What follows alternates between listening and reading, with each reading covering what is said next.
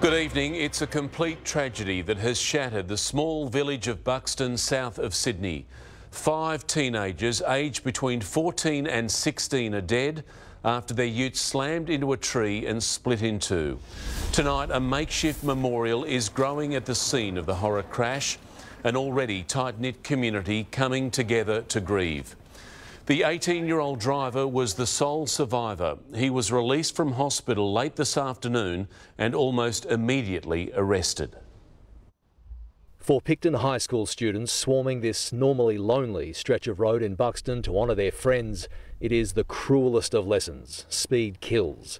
It killed five last night. I heard the crash, four big bangs, we just came straight up, and it's just horrific horrific. In the Wollondilly, news travels quickly.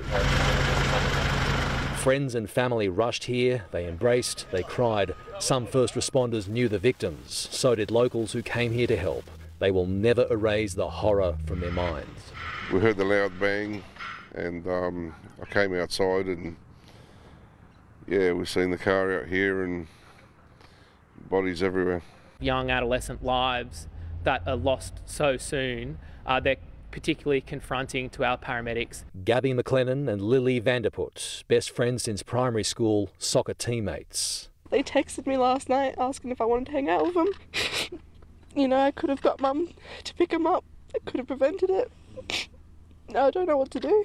Antonio Desisto, apprentice carpenter. Summer Williams, the extrovert, life of the party. Was like a little sister to me. Beautiful soul, like walk down the street, she'd shout out your name, like, and she'd be so excited to see you.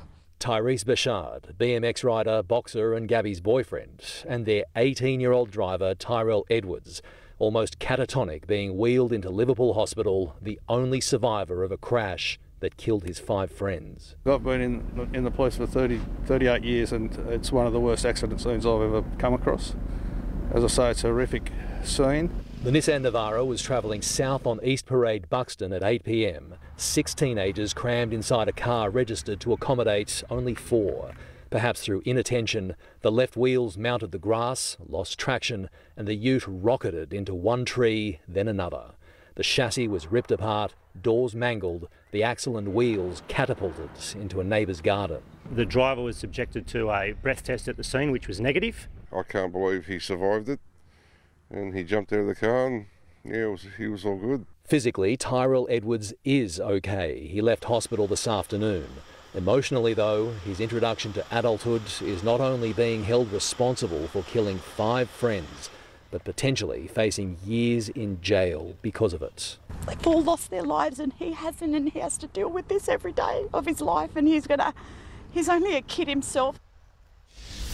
And Robert Ovadia is in Buxton for us tonight. Rob, the Premier made an unannounced visit there this afternoon. Mark, uh, Premier Dominic Perrottet has seven children himself. He's been visibly distressed by what happened here at Buxton, a small announcement at Parliament today, and then an unannounced visit to Picton High School, where I'm told he uh, met with the principal and also teachers there, carrying a bouquet of flowers, where he was accompanied by the Education Minister, Sarah Mitchell. Media was specifically not told about this. The Premier was uh, very conscious of not making it seem like it was a publicity blitz on such a, ter a terrible, terrible terrible subject matter. Now, in terms of the driver, he faces a very, very long night. Tyrell Edwards now uh, has the uh, conscience of five of his friends' deaths, uh, as, as well as uh, facing years in jail. Police uh, are interviewing him tonight at Narellan Police Station. He was arrested when he went to the hospital rearrested after he was released today. He might get bail or he might be refused. Police have it in their discretion. Robert Ovadia at Buxton Forest, thank you. Now, grief counsellors have been sent to Picton High School for as long as necessary as the tears and tributes flowed today. Friends and family still in deep shock, and it's not the first time this small community has had to come to terms with tragedy teenagers dealing with an avalanche of emotions and a new reality beyond belief. I don't know what to do. I don't feel like it's real. Feeling a bit shocked and still finding it hard to believe it. Raw and real grief after losing five of their young friends. Lilly was in my class, and I know that Gabby dated Tyrese. She was pretty nice. Lilly was heaps nice to just about everyone she knew. She um, is very caring and she like she loves to like go to the beach and she loves country music and most of all her family and her friends. The entire community struggling. Obviously worried about my girls. They're so so upset about the whole thing. So am I. It's awful. Wollondilly is, is incredibly tight knit. Um, the community of Buxton is, is even more tight knit. Um, you know, we're, we're all small villages, everybody knows everybody. This morning, more suffering at the victim's school. The teenagers were either current or former students here at Picton High School. Today, specialist counsellors and a police liaison spent time with children and staff to help them deal with such a terrible tragedy. Our hearts go out to the family and friends of students involved in yesterday's tragic accident. My condolences to um, all the families and friends um, of the five children uh, who passed away. It's not the first time this small town has experienced pain like this.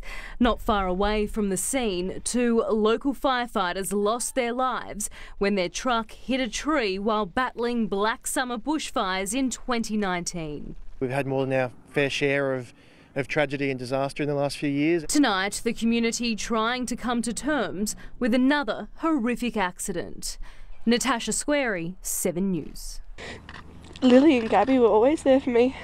I played soccer with them. I, you know, they were always there.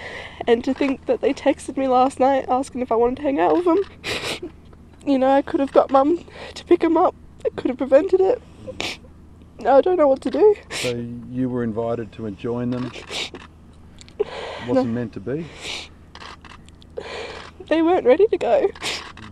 Gabby and Lilly were just, they were very close with each other, you know, and no matter what happened, they were always there for me. You know, Gabby was an amazing goalie. She was, she was amazing. And Lilly, best defender I've ever seen. And friends, as friends, As friends, they were amazing. Always looking out for me, whether I was at a different school or not. They were always there. Something I used to be in the same class and roll call with her. Oh, was she a lovely girl? She's very loud, very outgoing. I just, you know, they invited me to hang out, and I told them I couldn't stay out too late. I got to get up at six in the morning for school. And were they just going for a drive? Were they going anywhere in particular? I don't know. They just asked me if I wanted to hang out with them. I feel like I can't wake up. I just, I've had the worst week ever, and this is just cherry on top. And were you in year nine? In year Yeah. nine? So were all the girls in year nine? Yeah. And were the boys in year ten? Uh, year nine, year ten, yeah. and mum, you, your mother. What, what do you say? I don't know, no words. No words for the family, like, I'm sorry. Yeah. What can you say? It's tragic. It's just going to be upsetting when they, you know, get their trophies for soccer and their parents are going to have to come up and get them. You know, And you must feel for their parents as a parent. Gabby's mum did everything for me. She drove me to games, she took me home, she took me out. I knew a lot of uh, the victims in um, the accident last night.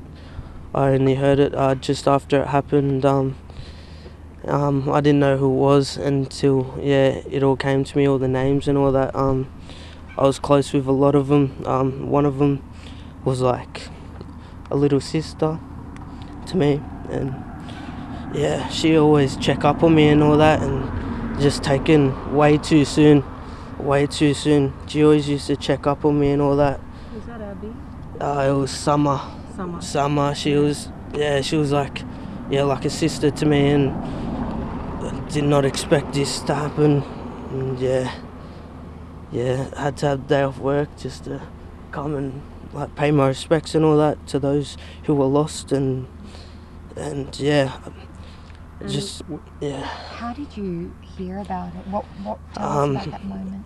Um, one of my mates told me who was uh, f- uh one of the first on scene. He'd he'd rather not talk about like the what like talk about it, but yeah, I found out and I came down here and yeah, found out names and then one name led to the other and yeah, it was just yeah heartbreaking and yeah, just it's just a tragic incident. When did you last speak with someone? Yesterday. Sorry? Yesterday. Did you speak about going out last? Yeah, What did she I'd. I'd, I'd always go over there. Her, her family would always like take me in as their own, and they'd always take care of me and all that. And she'd always like keep us together. And like, yeah, she was just the most like like beautiful soul. Like, walk down the street, she'd shout out your name, like, and she'd be so excited to see you. And yeah, she just didn't deserve this When at you all. When you spoke to her yesterday, did she talk about plans to go out last night? Yeah, she'd always want me to go over there. She's always asking when are you coming over to have dinner and all that, and yeah, and then this happened. Yeah, And was this, uh, had she gone to dinner and then gone out? um, I'm not too sure. Um, I was um, I went to school with um the driver and all that, and um, yeah, it was um, I did not know how she ended up in that situation. And yeah, it just didn't make sense to me, and it still doesn't. And How I'm do just trying to get through it. Jamali, how do you how do you feel about the driver? I mean, i- do you feel enormously sorry for him? Are, are you ah. angry at what's happened? How do you I, I'm angry at what what's happened. I I don't know what to think. Like he he was my mate, and like I'm just glad that like he came out of it. I know that some people wouldn't feel the same, but like yeah, what happened last night? Like there's just no words, and yeah, like And what was his relationship with the, the other people in the car? Just all mates? I'm not too sure. That's what I'm still trying to get through my head. I don't know why they were in the car with him. How do you think? I mean, uh, you can hardly imagine how he's feeling right now. I couldn't imagine. Couldn't imagine. Yeah. Have you heard from him at all? Nah, uh, uh, he was the first name I heard of, and then um, yeah, uh, messaged him just to see like what happened, see if he was alright and that, but no response and that. Like, wasn't surprised in that, but yeah, I don't know. It's just yeah, it all hit me at once and all that, and couldn't sleep last night, couldn't go to work today, and yeah, just came down here just to pay my respects and all that to the families and the loved ones. Thanks, Jamali. Thank really you. appreciate it. Thank you, mate. Thank you. All the best to you guys. Okay.